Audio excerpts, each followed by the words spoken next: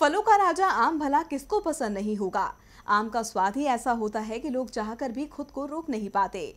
लेकिन यही आम कई रोगों का भी कारण है। तो क्या है इसे खाने के नुकसान? देखिए हमारी इस रिपोर्ट में। आम विटामिन ए, कॉपर, आयरन और पोटेशियम से भरपूर होता है। लेकिन आम से कई बीमारियाँ भी होती हैं। अगर आपको पेट संबंधित कोई परेशानी है तो आपको इसके सेवन से बचना चाहिए। आम के ज़्यादा सेवन से लूज मोशन की तकलीफ़ हो सकती है। ज़्यादा मात्रा में आम के सेवन से स्किन प्रॉब्लम्स जैसे फोड़े फुंसी हो जाते हैं। आम के मुँह पर एक तरल पदार्थ होता है, जिसे अगर आपने ठीक से साफ़ नहीं किया तो आपको दाद या खुजली का सामना भी करना पड़ सकता है। इतना ही नहीं, अगर यह पदार्थ आपके गले में चला जाता है तो आपको खराश और गले में सूजन और दर्द जैसी परेशानियाँ भी होती है। कुछ लोगों को तो इससे खास दूरी बनाकर रखनी चाहिए।